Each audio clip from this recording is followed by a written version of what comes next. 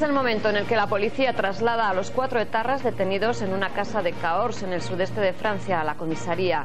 En el interior de la vivienda han aparecido explosivos y un laboratorio para su fabricación, el mismo que aparecía en el vídeo de entrenamiento difundido por ETA. Era aquí donde se cree que los terroristas han preparado sus últimos atentados y donde ultimaban la fabricación de un potente coche bomba. Hola, buenos días. Los cuatro etarras serán trasladados hoy mismo a París, donde además está prevista una reunión de los máximos jefes policiales de España y de Francia. En menos de tres meses, los gendarmes galos han detenido a 17 supuestos miembros de ETA. La respuesta de la banda ha sido intentar complicar la operación Retorno de Agosto, avisando de la colocación de cinco bombas en las carreteras.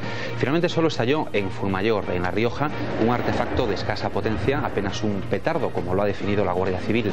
No causó daños, pero el cierre de carreteras provocó grandes atascos en Cantabria, el País Vasco y Castilla y León.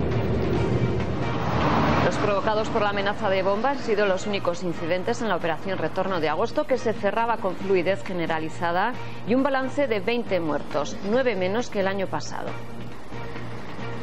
Hoy lunes 3 de septiembre llega la inestabilidad por el norte del país. Tendremos cielos nubosos y chubascos en el Cantábrico y Cataluña con posibilidad de tormentas por la tarde.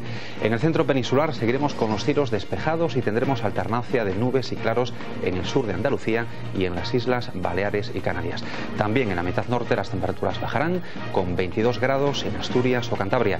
Suben, sin embargo, en Almería, Murcia y Alicante donde llegarán a los 30 grados. Badajoz y Sevilla alcanzarán los 36 2016. Arranca el curso político marcado por las elecciones generales del próximo año. Hoy PP y PSOE reúnen a sus directivas para marcar sus estrategias de cara a los últimos meses de legislatura.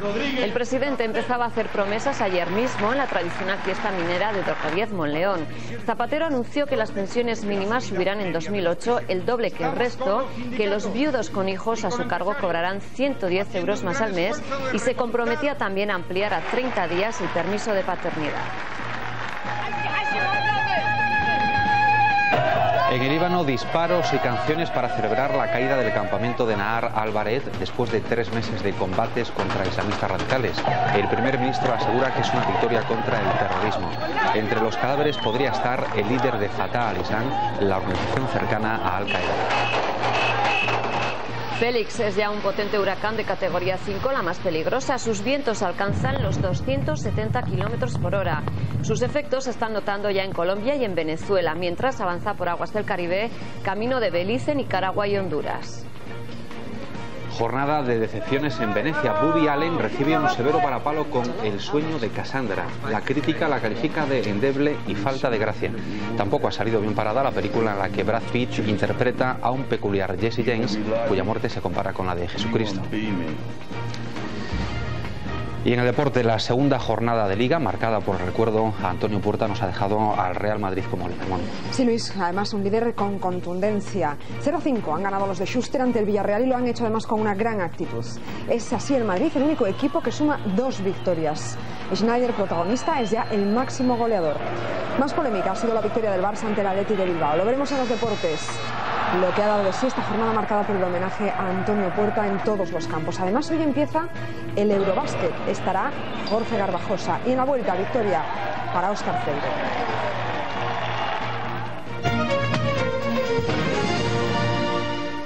ETA complicó ayer la operación retorno a miles de automovilistas que volvían a casa después de las vacaciones de verano. Varios avisos de bomba y una pequeña explosión en La Rioja provocaron retenciones kilométricas en las carreteras del norte del país. En torno a las 4 de la tarde se producía una única explosión. El lugar, el kilómetro 422 de la Nacional 232, situado entre Cenicero y Fuenmayor, en La Rioja. El artefacto estaba situado en un talud de la carretera, en una zona despoblada frente a unas bodegas. La Guardia Civil asegura que era de escasa potencia, poco más dicen que un petardo. Y he oído estampido, pero a mí no me ha parecido que era una bomba de, gran eh, expresión. Vaya, no me ha parecido. Por eso no ha causado apenas daños materiales, solo un pequeño agujero. En esta localidad se buscaba también un posible explosivo en la autopista, la AP68. Se cortó también el tráfico, pero era una falsa alarma. Pero el comunicante, que afirmaba hablar en nombre de ETA, alertaba además de la colocación de otros tres artefactos que estallarían entre las 3 y las 5 de la tarde. El kilómetro 7 de la AP1 en Vergara, Guipúzcoa, el 251 de la Nacional 1 en Rubena, Burgos, y el kilómetro 181 de la A67 a su paso por Barreda, en Cantabria. La última en reabrirse al tráfico ha sido esta, la A67 en Cantabria, a las 7 menos cuarto. Los TEDAX han rastreado varias veces la zona hasta que se ha descartado la presencia de un artefacto. La Guardia Civil decidió a las seis y media reanudar el tráfico en la AP1 en Vergara, Guipúzcoa, al comprobar que no existía peligro. Poco antes, a las seis, circulaban los coches por la Nacional 1 en Rubena, Burgos. Más de tres horas de corte del tráfico que habían trastornado la vuelta a casa de miles de automovilistas. Mientras en Francia la policía da por terminada la investigación de la casa de Cahors en Francia, donde detuvieron el sábado a cuatro etarras. Anoche, tras dos días de registros, los detenidos serán trasladados a los calabozos de la comisaría. Los cuatro serán trasladados hoy a París para pasar a disposición judicial. Los investigadores creen que en la casa ETA ha fabricado los explosivos de sus últimos atentados. Además, han encontrado un vehículo robado que estaba a punto de convertirse en coche bomba. Entre gritos de Gora Eta de los etarras detenidos, se llevaba a cabo por segundo día consecutivo el registro policial en el interior de esta casa, en donde se ha encontrado todo un arsenal listo para cometer un atentado. 350 kilos de explosivos, 30 detonadores, diversas armas, una bomba lapa cargada con medio kilo de pentrita, dos coches y un completo laboratorio para la fabricación de bombas. Este hombre podría ser uno de los detenidos, Luis Ignacio Irureta Goyena. Al menos así lo cree la policía después de confirmar que este vídeo de instrucción que la banda terrorista distribuyó entre sus simpatizantes fue grabado en Cahors. Ya han prestado declaración tanto Irureta Goyena como Alay Charamendi, Ander Mújica y Ollán Barandaya, el lugarteniente de Cherokee y quien alquiló esta casa en la que se han preparado los últimos atentados de ETA. Hoy serán trasladados a París y pasarán a disposición judicial. En la capital francesa estará también el director general de la Policía y de la Guardia Civil, Joan Mesquida, para analizar los resultados de la investigación con su homólogo galo. La política antiterrorista centrará las reuniones que hoy mantienen en Madrid las directivas de PSOE y PP. Ayer el presidente Zapatero lanzaba un mensaje contundente a ETA y aseguraba que será implacable con la violencia. Puse todo mi empeño por un final dialogado de la violencia. ETA optó por la violencia y dije, y hoy reitero, que seríamos implacables ante la violencia y ante las bombas con que la practiquen y así estamos haciendo.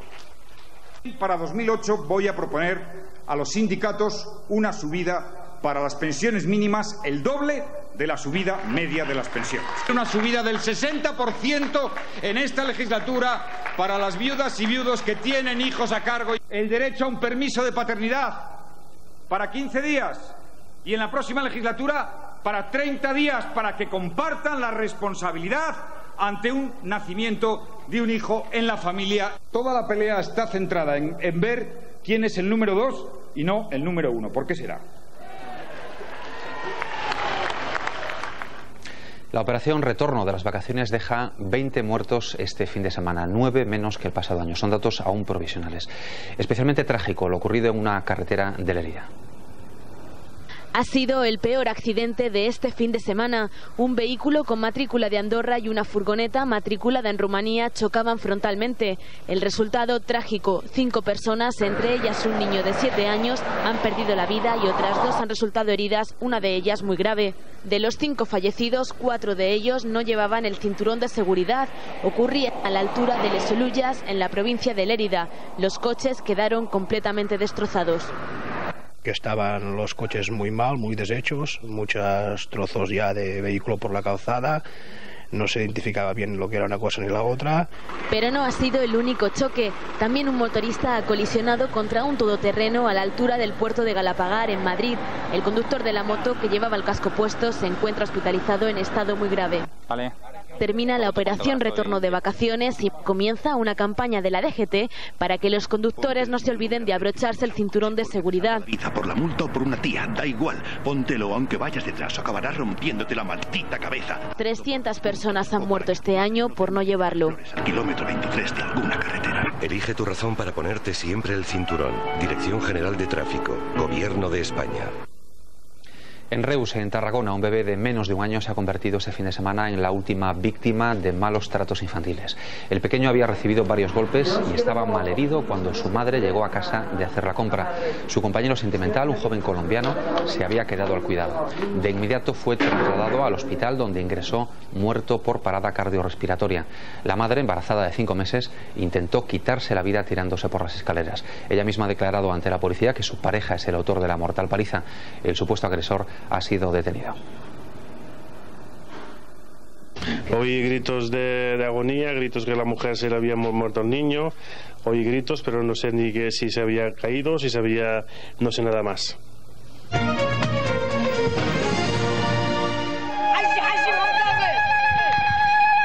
Euforia en las inmediaciones del campo de refugiados de Nar al-Bared, al norte del Líbano.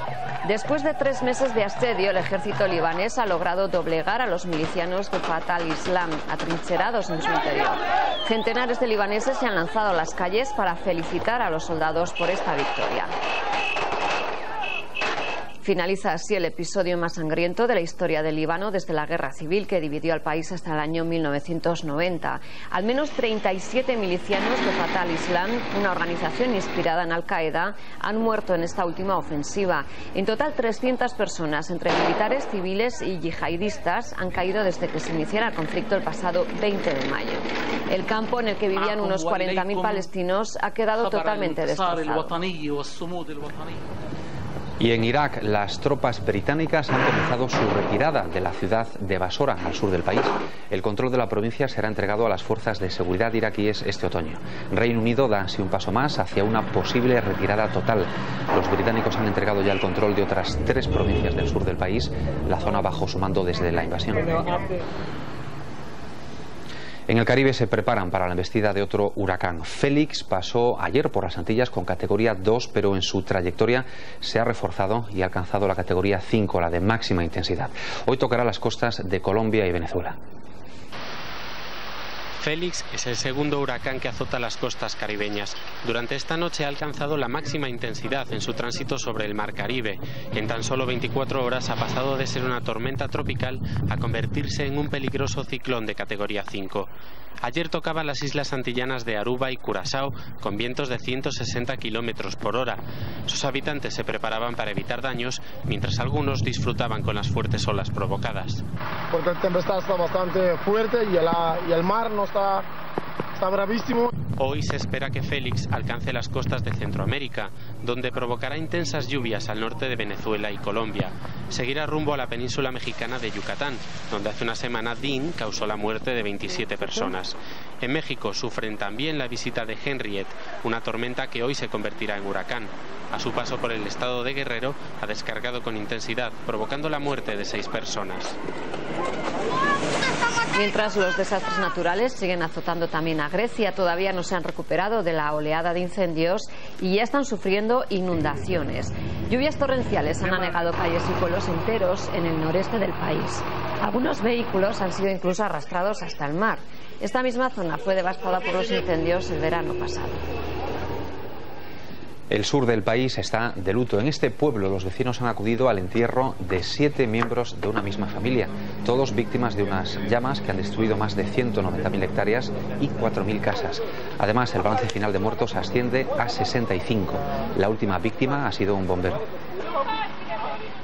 En Polonia, dos pilotos han fallecido al chocar sus avionetas durante una exhibición aérea. Realizaban ejercicios acrobáticos cuando se produjo la colisión. Ambos aparatos cayeron sobre un bosque cercano. Los pilotos tenían 62 y 24 años. Después de un fin de semana soleado y aumenta la nubosidad por el norte. Nos lo cuenta Patricia Jorge.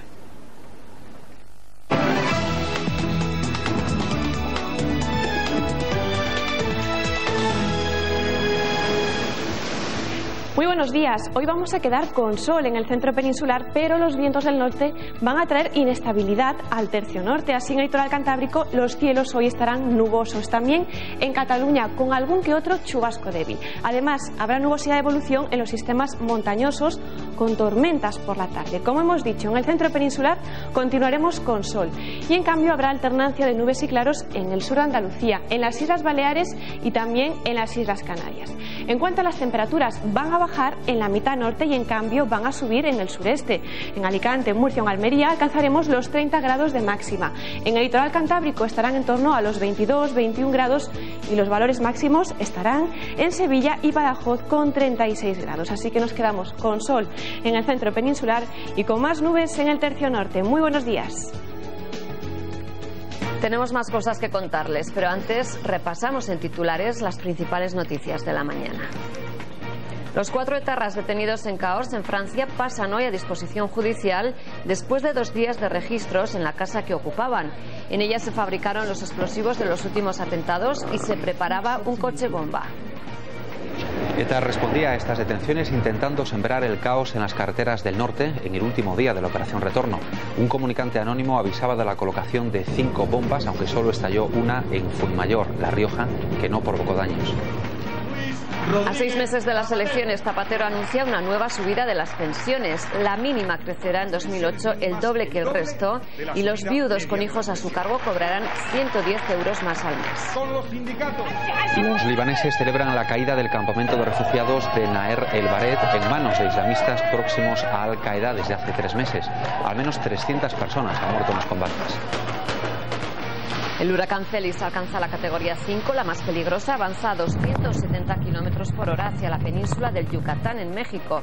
Está previsto que entre por Belice y afecte también a Nicaragua, Honduras y Guatemala. Los goles y el buen juego desatan la euforia de los seguidores del Real Madrid. Enseguida nos lo cuenta Mónica Martínez. Y después los detalles de un festival benéfico en Mónaco. Nelson Mandela se ha reunido con la YESE del Principado para recaudar fondos para su fundación dedicada a labores humanitarias. También veremos la curiosa fusión entre la moda y un paisaje arrasado por un incendio. Es el escenario que ha elegido una diseñadora canaria para presentar su colección. No necesitan ropa para vestir su cuerpo, prefieren el tatuaje, algunos en sitios insólitos y otros en partes no recomendables por los médicos.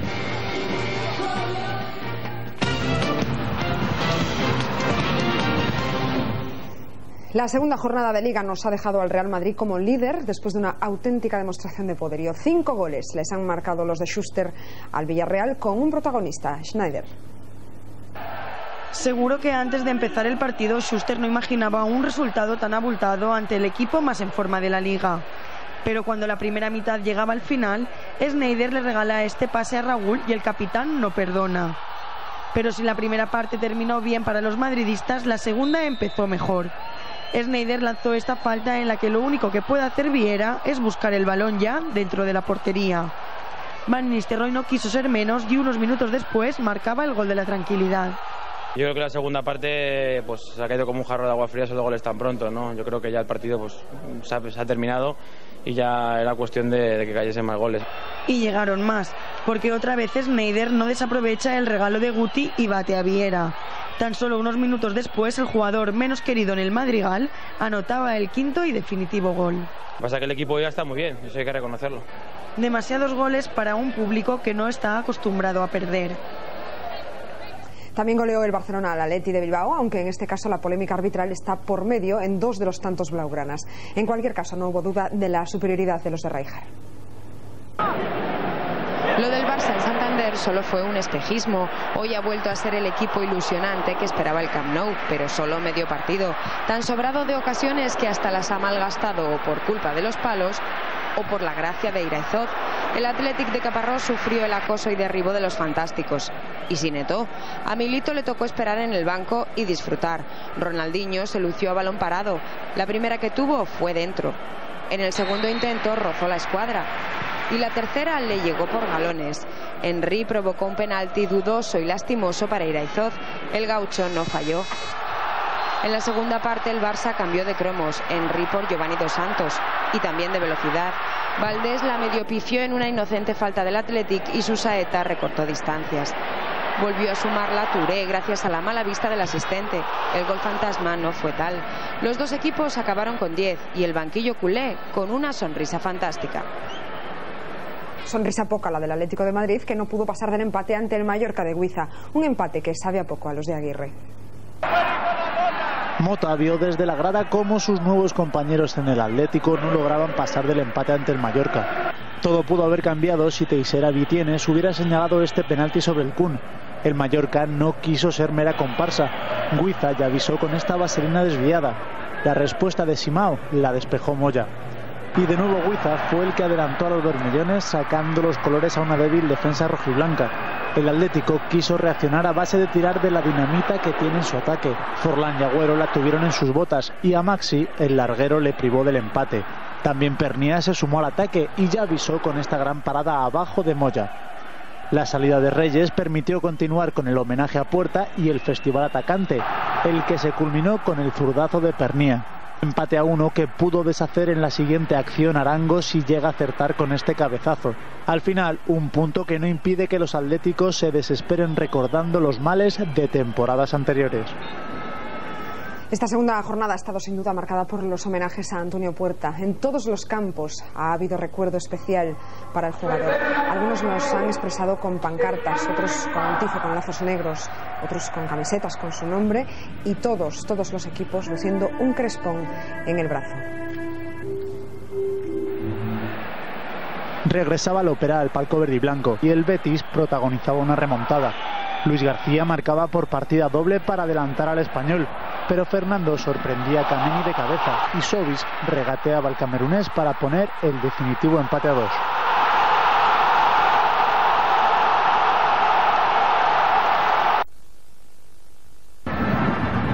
El Valencia retomó el camino de la victoria aunque no lo tuvo fácil. Los de Quique se adelantaban en el marcador con este gol de Morientes. Empataba el Almería con el gran remate de Negredo y finalmente Moretti le daba el triunfo a los Che para calmar los ánimos en la ciudad del Turia. El Depor salió vivo de Pucela, otro recién ascendido le ha creado muchos problemas. García Calvo adelantó al Valladolid antes del descanso. Taborda igualó el resultado en la segunda mitad, pero sí sí volvía a poner a los castellano-leoneses por delante. Un afortunado gol de Ricky que tocó en un contrario dio el empate al equipo velotina. Tablas in extremis en el Coliseum Alfonso Pérez. El Recreativo se adelantó la segunda parte con un gol de Sinamapa, un gol dedicado al sevillista Antonio Puerta. Sin embargo, Manu del Moral empató los últimos segundos para el Getafe. Ha quedado aplazado el partido entre el Sevilla y el Osasuna porque esta noche los de Juan de Ramos se juegan el pase a la fase final de la Champions ante la ECA. Y fuera del fútbol, la atención deportiva está hoy en el baloncesto. Comienza el Eurobásquet. España juega ante Portugal con Jorge Garbajosa incluido. Ha sido la mejor noticia para el ala pivot en mucho tiempo. Primer entrenamiento en el que podemos ver a Garbajosa como uno más. El jugador de Toronto se apunta a tiempo a la lista de los 12 convocados para empezar el europeo. Después de cinco meses lesionado, después de todo lo que ha habido que luchar para poder disputar un partido oficial, pues tengo más ganas que, que el día que debute, sinceramente. Una opción que llega solo horas antes del inicio, con suspense hasta el último momento. Atrás quedan las dudas y ya se empieza a pensar en lo único que importa al equipo, llegar cuanto más lejos. Segunda etapa en la Vuelta Ciclista España y primera victoria para un español, para Óscar Freire. El cántabro se ha salvado de una caída masiva a dos kilómetros de meta y que ha afectado a varios de sus más directos rivales, entre ellos al líder, a Daniele Benatti. El ciclista de Rabobank ha llegado primero a la meta en Santiago de Compostela y se ha colocado líder de la general. Tuvieron que pasar tres años y 16 días para que Óscar Freire volviese a conseguir la victoria de etapa en la Vuelta Ciclista España. Después de verse ayer sorprendido por Benati, hoy aquí en Santiago el cántabro del Rabobank demostró que si se encuentra a plenitud de rendimiento es el mejor sprinter del mundo. La llegada se adaptaba muy bien a mis características, eh, venía bien colocado, pero, pero bueno, hasta que no se pasa la línea de meta no se sabe si uno puede dar la sorpresa. Muy buenas noticias desde el abierto de los Estados Unidos. Rafa Nadal y David Ferrer se verán las caras en los octavos de final después de derrotar respectivamente a Tsonga y a Nalbandian. Esta madrugada también se ha clasificado Carlos Moyá, así que ya son cuatro los españoles en octavos. Y pueden ser cinco si se clasifica Tommy Robredo, algo nunca visto antes. Ya lo había logrado el sábado Feliciano López.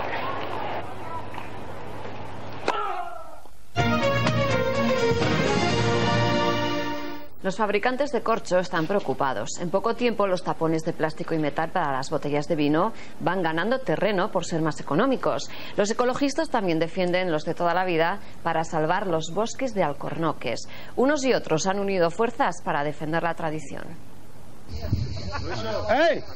Desde hace años la familia de Luiso se dedica a cultivar y extraer corcho. Ahora están preocupados por su futuro. Los corchos alternativos son cada vez más comunes. Representan el 20% del mercado, algo que amenaza la producción de este material. Y esto ya es antepasado, digamos. Mi abuelo, mi bisabuelo, mi padre, Luiso, como lo conocen, es arriero, ha sido arriero, mi cuñado, mi hermano. La corteza recolectada madura en el depósito. Más tarde se hierve para hacerla más elástica. Después se analiza en busca de hongos. Cuando se detecta TCA en una botella contaminada, en realidad hay dos posibles orígenes de contaminación. El tapón de corcho y el propio vino. El llamado TCA es un agente químico que se deposita en el tapón y que le da un aroma mohoso al vino. De aquí surgen las alternativas baratas al corcho. El plástico y el metal no presentan el mismo riesgo de picar el vino. Los tapones de silicona se han empezado a usar por varias razones. Una de ellas es que nos evitamos el riesgo de, contaminación por TCA. Otra de ellas es su, precio, que es tres veces más bajo que un eh, tapón de corcho de las mismas características. No son tapones adecuados para vinos de larga duración, vinos que vayan a evolucionar en botella, pero para vinos jóvenes son perfectos. No hay estudios por el momento que indiquen lo contrario. Para algunos es una manera de ahorrar, para otros una forma de poner fin a la tradición. Numerosas mujeres con tatuajes en la parte baja de su espalda han visto cómo sus partos se complicaban ante la imposibilidad de administrarles la epidural. Una nueva técnica quirúrgica va a superar esos problemas. La hemos conocido en Castellón, donde se han reunido los mejores tatuadores con los amantes de la piel pintada. Quieren que sus cuerpos sean como lienzos, se hacen dibujar en su piel formas inverosímiles, escenas de terror o rostros sagrados. Consideran los tatuajes como una estética artística para el cuerpo. Antiguamente el tatuaje digamos que se miraba un poco, estaba un poco marginado. El tema más tema presidiario. Poco a poco la gente lo iba relacionando más como un, como un arte corporal. El resultado es lo que queda ahí para toda la vida y es lo que me gusta. No hay sexo ni edades para mostrar un cuerpo tatuado. El día que cumplió 80 años hizo su último tatuaje, que fue en el pecho. Se hizo una, una sirena pequeña, como último tatuaje. En otras culturas no solo sirven para embellecer el cuerpo. Para nosotros el tatuaje antes es una marca que para conozco dónde viene la gente. Dibujos que en la zona lumbar pueden dificultar una anestesia epidural. La aguja arrastraría las sales de hierro del pigmento a la zona medular ocasionando tumores. Ya hay nuevos métodos para evitar que esto suceda. Hacer un pequeño corte abrir la piel y ya pinchar a través de esa piel abierta para evitar lo que es el fenómeno de arrastre con lo que podría alterar obviamente también su propio tatuaje. Las chicas lo tienen más en cuenta a la hora del parto, ¿vale? Entonces ya ellas deciden si se lo quieren hacer en esa zona o no, o quieren subirlo o bajarlo un poco. Un arte sobre la piel que queda para siempre. Insólita fusión entre la moda y el fuego. Una diseñadora de Gran Canaria ha organizado un desfile en una zona destruida por las llamas.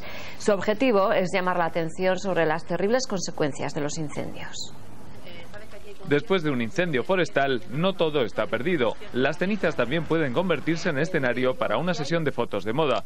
Así lo ha creído esta diseñadora, conmovida por el fuego que a finales de julio arrasó la isla de Gran Canaria, pero dispuesta también a aprovechar este paisaje arrasado. También le da un toque distinto. La moda, mientras más beligerante y más rara, al final llama mucho más la atención y puede llegar a ser un buen espectáculo espectáculo con el que esta joven creadora quiere llamar la atención sobre las consecuencias del fuego y que no se olvide que en un monte quemado hay mucho por hacer. Utiliza modelos no profesionales con unos cuerpos tan realistas como lo es este escenario, un sitio original en el que no es nada fácil trabajar están cansadas, hay mucho, y no solo el material, sino la luz, hay que esperar a que la luz esté bien, también pedir permiso, tener cuidado, porque está todo tan roto y todo tan mal que también hay peligro de, que se derrumbe algo, de que se caiga algo encima, hay que tener mucho cuidado con cada detalle.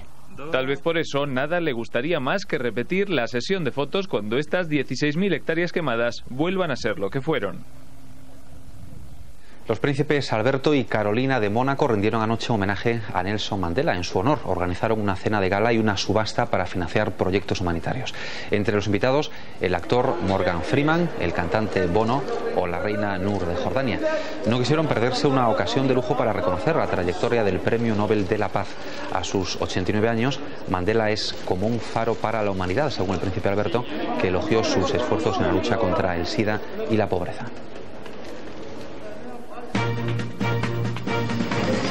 Este es el momento en el que la policía traslada a los cuatro etarras detenidos en una casa de Cahors en el sudeste de Francia a la comisaría. En el interior de la vivienda han aparecido explosivos y un laboratorio para su fabricación, el mismo que aparecía en el vídeo de entrenamiento difundido por ETA. Era aquí donde se cree que los terroristas han preparado sus últimos atentados y donde ultimaban la fabricación de un potente coche bomba. Los cuatro etarras serán trasladados hoy mismo a París, donde además está prevista una reunión de los máximos jefes policiales de España y de Francia. En menos de tres meses, los gendarmes galos han detenido a 17 supuestos miembros de ETA. La respuesta de la banda ha sido intentar complicar la operación retorno de agosto, avisando de la colocación de cinco bombas en las carreteras. Finalmente solo estalló en Fuenmayor, La Rioja, un artefacto de escasa potencia, apenas un petardo, como lo ha definido la Guardia Civil. No causó daños, pero el cierre de carreteras provocó grandes atascos en Cantabria, el País Vasco y Castilla-León. Los provocados por la amenaza de bomba han sido los únicos incidentes en la operación Retorno de agosto que se cerró con fluidez generalizada y un balance de 20 muertos, nueve menos que el año pasado. Hoy lunes 3 de septiembre llega la inestabilidad por el norte del país. Cielos nubosos y chubascos en el Cantábrico y Cataluña con posibilidad incluso de tormentas por la tarde. En el centro peninsular seguiremos con los cielos despejados y tendremos alternancia de nubes y claros en el sur de Andalucía y en las Islas Baleares y Canarias. También en la mitad norte las temperaturas bajarán un poco con 22 grados en Asturias o Cantabria. Suben, sin embargo, en Almería, Murcia o Alicante donde llegarán a los 30 grados. Badajoz y Sevilla pueden alcanzar los 36.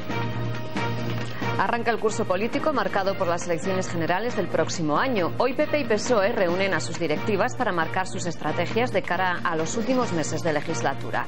El presidente empezaba a hacer promesas ayer mismo en la tradicional fiesta minera de Rodríguez Monleón.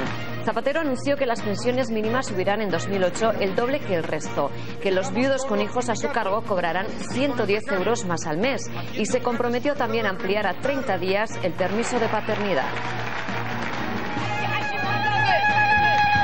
En el Líbano, disparos y canciones para celebrar la caída del campamento de Nahar al-Bared después de tres meses de combates contra islamistas radicales. El primer ministro asegura que es una victoria contra el terrorismo. Entre los cadáveres podría estar el líder de Fatah al-Islam, la organización cercana a Al-Qaeda. Celis es ya un potente huracán de categoría 5, la más peligrosa. Sus vientos alcanzan los 270 kilómetros por hora. Sus efectos se están notando ya en Colombia y en Venezuela, mientras avanza por aguas del Caribe camino de Belice, Nicaragua y Honduras. Jornada de decepciones en Venecia. Woody Allen recibe un severo varapalo con El sueño de Cassandra. La crítica la califica de endeble y falta de gracia. Tampoco ha salido bien parada la película en la que Brad Pitt interpreta a un peculiar Jesse James, cuya muerte se compara con la de Jesucristo. En el deporte, la segunda jornada de Liga, marcada por el recuerdo a Antonio Puerta, nos ha dejado al Real Madrid como líder. Sí, Luis, además líder con contundencia. 0 a 5 han ganado los de Schuster ante el Villarreal y lo han hecho además con una gran actitud. Es así, el Madrid el único equipo que suma dos victorias. Schneider, protagonista, es ya el máximo goleador de la Liga. Más polémica ha sido la victoria del Barça ante el Athletic de Bilbao. Lo veremos en los deportes, lo que ha dado de sí esta jornada, marcada por el homenaje a Antonio Puerta en todos los campos. Además, hoy empieza el Eurobásquet, estará Jorge Garbajosa y en la vuelta, victoria y liderato para Óscar Freire.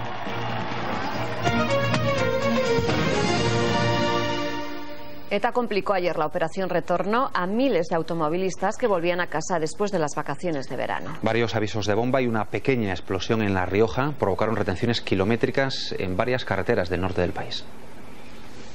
En torno a las 4 de la tarde se producía una única explosión. El lugar, el kilómetro 422 de la Nacional 232, situado entre Cenicero y Fuenmayor, en La Rioja. El artefacto estaba situado en un talud de la carretera, en una zona despoblada frente a unas bodegas. La Guardia Civil asegura que era de escasa potencia, poco más dicen que un petardo. y he oído estampido, pero a mí no me ha parecido que era una bomba de, gran eh, expresión. Vaya, no me ha parecido. Por eso no ha causado apenas daños materiales, solo un pequeño agujero. En esta localidad se buscaba también un posible explosivo en la autopista, la AP68. Se cortó también el tráfico, pero era una falsa alarma. Pero el comunicante, que afirmaba hablar en nombre de ETA, alertaba además de la colocación de otros tres artefactos que estallarían entre las 3 y las 5 de la tarde.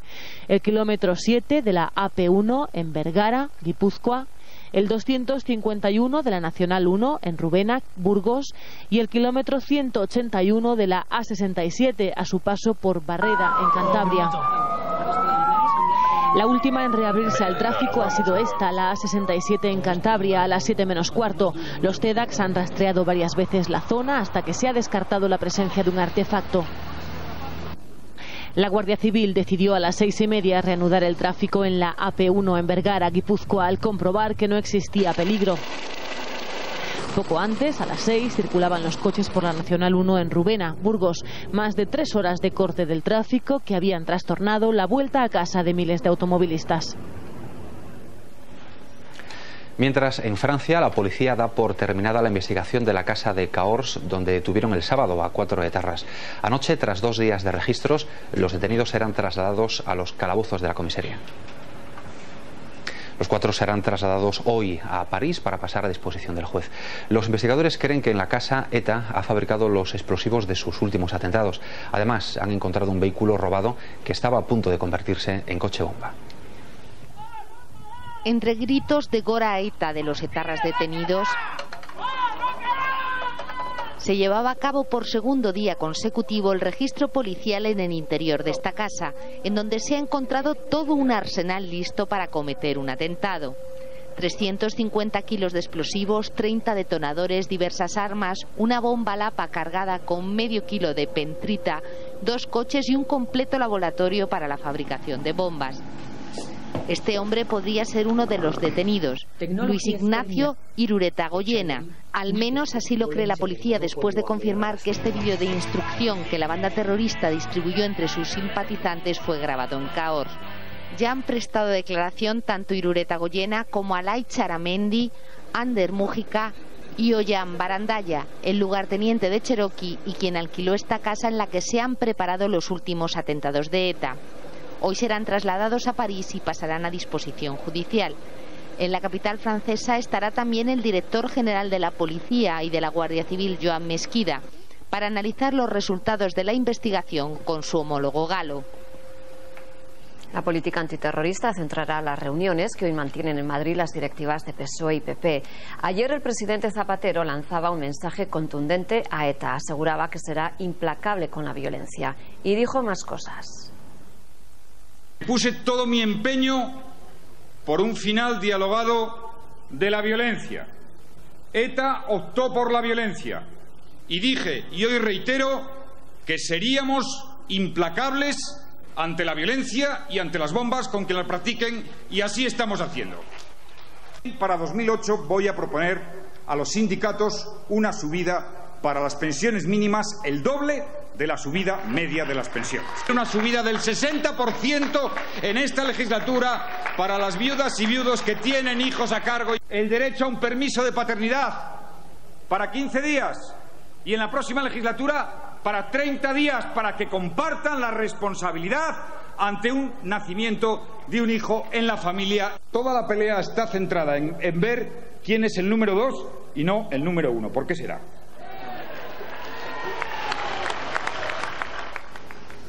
Hasta las 8 de la tarde de ayer, al menos 20 personas han perdido la vida en la carretera en los 16 accidentes registrados en operación regreso de vacaciones. El peor de los siniestros se producía a la altura de Les Olulles, en Lérida. Un vehículo y una furgoneta chocaban frontalmente. Cinco personas han perdido la vida, entre ellas un niño. Otras dos han resultado heridas, una de ellas muy grave. De los fallecidos, cuatro no llevaban el cinturón de seguridad. Los coches quedaron completamente destrozados. Reus, Tarragona, un bebé de menos de un año se ha convertido este fin de semana en la última víctima de los malos tratos infantiles. El pequeño había recibido varios golpes y estaba malherido cuando su madre llegó a casa de hacer la compra. Su compañero sentimental, un joven colombiano, se había quedado al cuidado. De inmediato fue trasladado al hospital, donde ingresó muerto por parada cardiorrespiratoria. La madre, embarazada de cinco meses, intentó quitarse la vida tirándose por las escaleras. Ella misma ha declarado ante la policía que su pareja es el autor de la mortal paliza. El supuesto agresor ya ha sido detenido. Oí gritos de, agonía, gritos que la mujer se le había muerto al niño, oí gritos, pero no sé ni que si se había caído, si se había, no sé nada más. En Liverpool, y pese a la lluvia, centenares de vecinos han arropado a los padres del pequeño Rhys Jones durante una vigilia en su honor. Rhys, de 11 años, fue asesinado hace más de una semana. Un joven de entre 13 y 15 años lo disparó cuando regresaba a casa de un entrenamiento. Su muerte ha sacado a la luz la inseguridad en la que viven los vecinos de ese barrio. Uno de los amigos ha querido compartir su tristeza. En el Caribe se preparan para la embestida de otro huracán. Félix pasó ayer por las Antillas y en su trayectoria ha alcanzado la categoría 5, que es la de máxima intensidad. Colombia y Venezuela están hoy en alerta. Félix es el segundo huracán que azota las costas caribeñas. Durante esta noche ha alcanzado la máxima intensidad en su tránsito sobre el Mar Caribe. En tan solo 24 horas ha pasado de ser una tormenta tropical a convertirse en un peligroso ciclón de categoría 5. Ayer tocaba las islas antillanas de Aruba y Curazao con vientos de 160 kilómetros por hora. Sus habitantes se preparaban para evitar daños, mientras algunos disfrutaban con las fuertes olas provocadas. Porque el tempestad está bastante fuerte y el, y el mar no está, está bravísimo. Hoy se espera que Félix alcance las costas de Centroamérica, donde provocará intensas lluvias al norte de Venezuela y Colombia. Seguirá rumbo a la península mexicana de Yucatán, donde hace una semana Dean causó la muerte de 27 personas. En México sufren también la visita de Henriette, una tormenta que hoy se convertirá en huracán. A su paso por el estado de Guerrero ha descargado con intensidad, provocando la muerte de seis personas. Los desastres naturales siguen azotando también a Grecia. Todavía no se han recuperado de la oleada de incendios y ya están sufriendo inundaciones. Lluvias torrenciales han anegado calles y pueblos enteros en el noreste del país. Algunos vehículos incluso han sido arrastrados hasta el mar. Esta misma zona fue devastada por los incendios el verano pasado. Euforia en las inmediaciones del campo de refugiados de Nar el Baret, al norte de Líbano. Tras tres meses de asedio, el ejército libanés ha logrado doblegar a los milicianos de Fatah al-Islam atrincherados en su interior. Centenares de libaneses se han lanzado a las calles para felicitar a los soldados por esta victoria. Finaliza así el episodio más sangriento de la historia del Líbano desde la guerra civil que dividió al país hasta el año 1990. Al menos 37 milicianos de Fatah al-Islam, una organización inspirada en Al-Qaeda, han muerto en la última ofensiva. En total, 300 personas, entre militares, civiles y yihadistas, han caído desde que se iniciara el conflicto el pasado 20 de mayo. El campo en el que vivían unos 40.000 palestinos ha quedado totalmente destrozado. El presidente de Irán, Mahmoud Ahmadinejad, ha afirmado que su país ha instalado ya más de 3.000 centrifugadoras para enriquecer uranio. De ser cierto, según los expertos de la ONU, Irán estaría a un año de poder construir su propia bomba nuclear. Para Estados Unidos, el régimen iraní es una amenaza para la paz. Ahmadinejad insiste, sin embargo, en que sus fines son pacíficos. En Corea del Norte todo lo contrario. Su gobierno ha anunciado que renuncia a su programa nuclear tras llegar a un acuerdo con Estados Unidos y se compromete a desmantelar todas las instalaciones antes de fin de año. A cambio, saldrá del listado de países de la administración Bush considerada eje del mal y recibirá petróleo y ayuda humanitaria.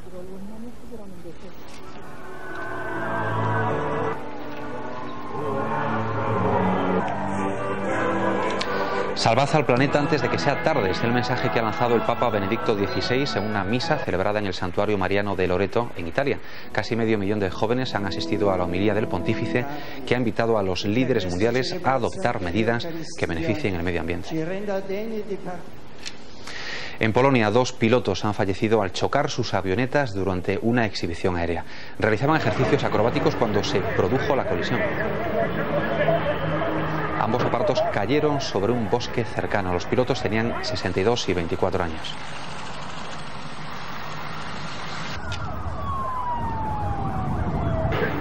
El volcán Etna vuelve a entrar en erupción. Cientos de turistas se han acercado hasta Sicilia para ver imágenes como estas.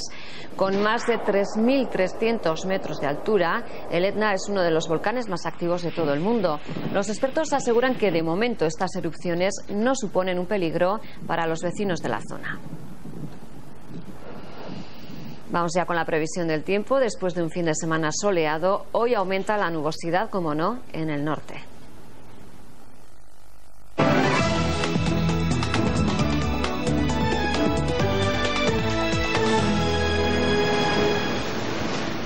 Muy buenos días. Hoy vamos a quedar con sol en el centro peninsular, pero los vientos del norte van a traer inestabilidad al tercio norte. Así en el litoral cantábrico los cielos hoy estarán nubosos. También en Cataluña con algún que otro chubasco débil. Además, habrá nubosidad de evolución en los sistemas montañosos con tormentas por la tarde. Como hemos dicho, en el centro peninsular continuaremos con sol y en cambio habrá alternancia de nubes y claros en el sur de Andalucía, en las Islas Baleares y también en las Islas Canarias.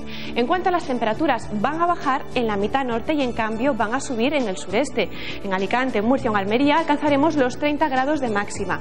En el litoral cantábrico estarán en torno a los 22, 21 grados y los valores máximos estarán en Sevilla y Badajoz con 36 grados. Así que nos quedamos con sol en el centro peninsular y con más nubes en el tercio norte. Muy buenos días.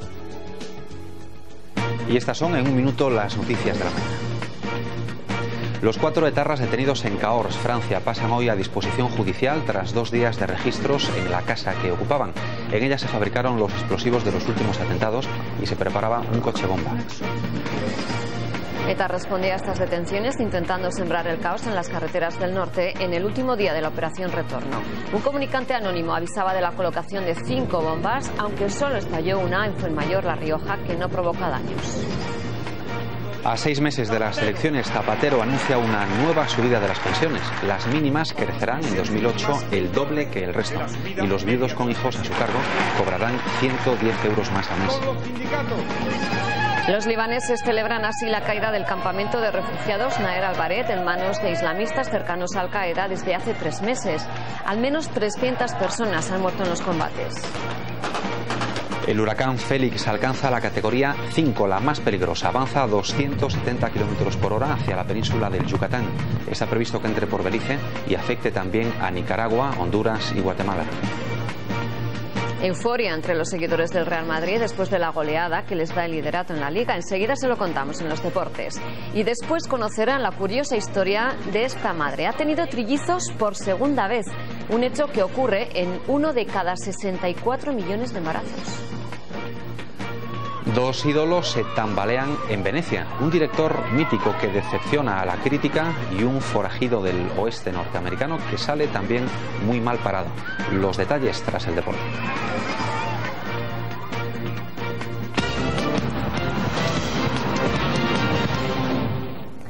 La segunda jornada de liga nos ha dejado al Real Madrid como líder después de una auténtica demostración de poderío. Cinco goles les han marcado los de Schuster al Villarreal con un protagonista, Schneider.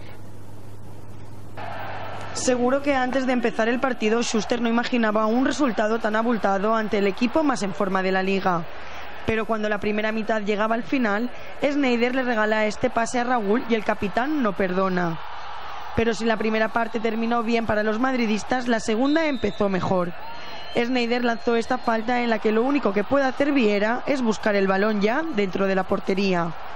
Van Nistelrooy no quiso ser menos y unos minutos después marcaba el gol de la tranquilidad. Yo creo que la segunda parte pues, se ha caído como un jarro de agua fría esos dos goles tan pronto. ¿no? Yo creo que ya el partido pues, se, ha, se ha terminado y ya era cuestión de, de, que cayesen más goles. Y llegaron más, porque otra vez Schneider no desaprovecha el regalo de Guti y bate a Viera.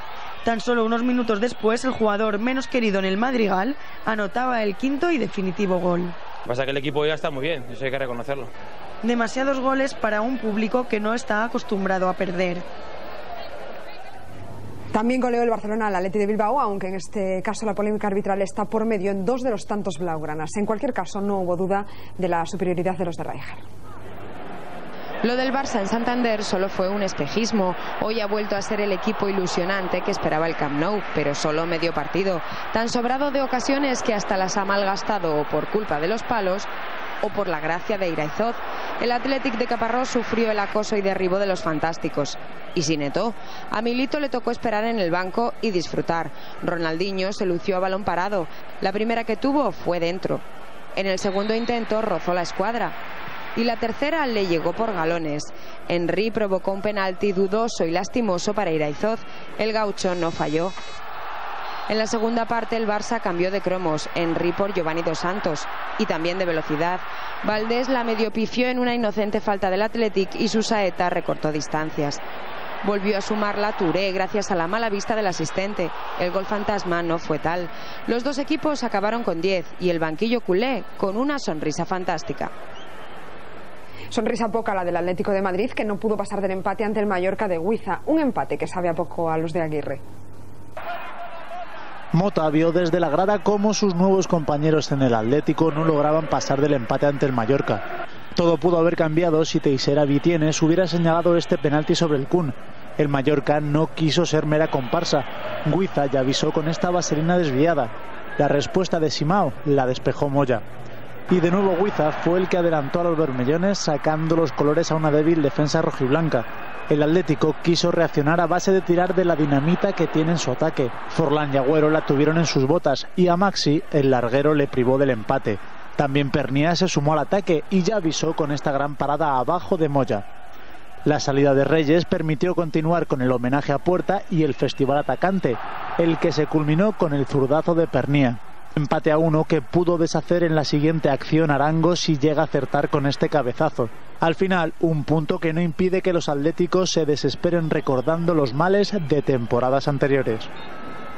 Esta segunda jornada ha estado sin duda marcada por los homenajes a Antonio Puerta. En todos los campos ha habido recuerdo especial para el jugador. Algunos lo han expresado con pancartas, otros con tifo con lazos negros, otros con camisetas con su nombre y todos los equipos luciendo un crespón en el brazo en recuerdo del jugador sevillista. Regresaba la ópera al palco verde y blanco y el Betis protagonizaba una remontada. Luis García marcaba por partida doble para adelantar al español, pero Fernando sorprendía a Camini de cabeza y Sobis regateaba al camerunés para poner el definitivo empate a dos. El Valencia retomó el camino de la victoria, aunque no lo tuvo fácil. Los de Quique se adelantaban en el marcador con este gol de Morientes. Empataba el Almería con el gran remate de Negredo y finalmente Moretti le daba el triunfo a los Che para calmar los ánimos en la ciudad del Turia. El Depor salió vivo de Pucela, otro recién ascendido le ha creado muchos problemas. García Calvo adelantó al Valladolid antes del descanso. Taborda igualó el resultado en la segunda mitad, pero sí sí volvía a poner a los castellanos leoneses por delante. Un afortunado gol de Ricky que tocó en un contrario dio el empate al equipo velotina. Tabla sin extremis en el Coliseum Alfonso Pérez. El Recreativo se adelantó la segunda parte con un gol de Sinamapa, un gol dedicado al sevillista Antonio Puerta. Sin embargo, Manu del Moral empató los últimos segundos para el Getafe. Y ha quedado aplazado el partido entre el Sevilla y el Osasuna porque esta noche los de Juan de Ramos se juegan el pase a la fase final de la Champions ante el AECA. Fuera del fútbol, la atención deportiva está hoy en el baloncesto. Comienza el Eurobásquet. España juega ante Portugal. Con Jorge Garbajosa incluido ha sido la mejor noticia para el ala pivot en muchos meses.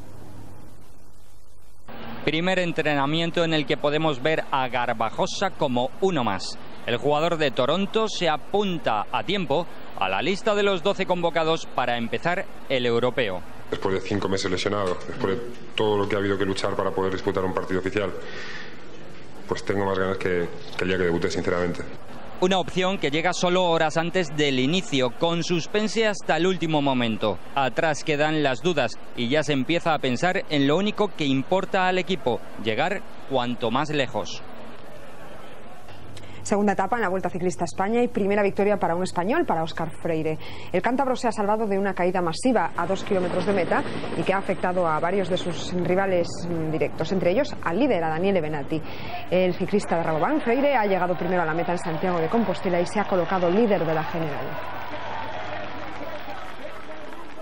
Tuvieron que pasar tres años y 16 días para que Óscar Freire volviese a conseguir la victoria de etapa en la Vuelta Ciclista a España. Después de verse ayer sorprendido por Benati, hoy aquí en Santiago el cántabro del Rabobank demostró que si se encuentra a plenitud de rendimiento es el mejor sprinter del mundo. La llegada se adaptaba muy bien a mis características, eh, venía bien colocado pero, pero bueno, hasta que no se pasa la línea de meta no se sabe si uno puede dar la sorpresa. Y muy buenas noticias desde el abierto de los Estados Unidos. Rafa Nadal y David Ferrer se enfrentarán en los octavos después de derrotar respectivamente a Tsonga y Nalbandián. Esta madrugada también se ha clasificado Carlos Moya, así que ya son cuatro los españoles en octavos y pueden ser cinco si se clasifica Tommy Robredo, algo nunca visto antes. Ya lo había logrado el sábado Feliciano López.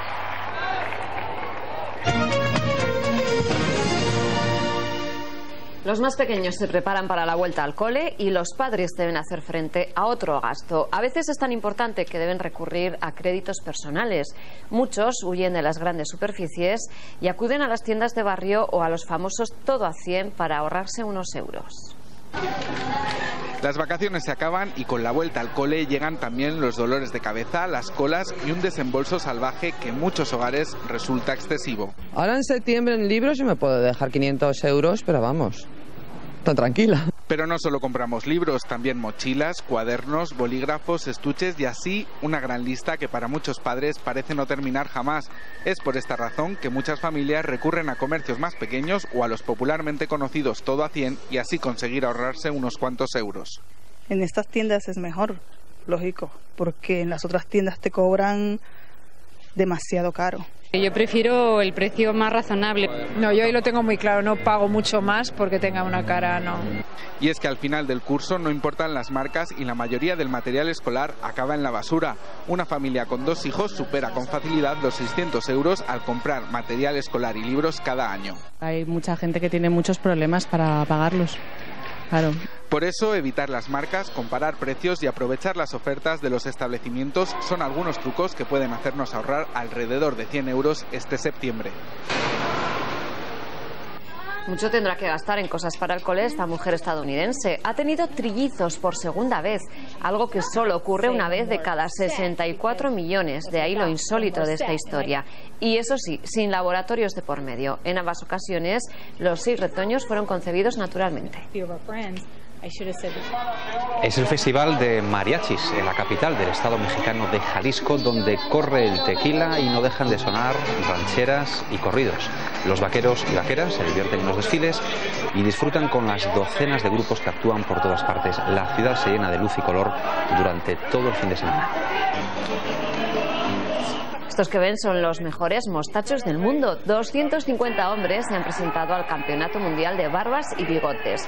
Uno de los más aclamados ha sido el que recreaba el puente de Brighton, ciudad inglesa en la que se celebró el certamen. Formas imposibles y pelambreras kilométricas que el jurado valoraba por su diseño, recorte y, por supuesto, originalidad.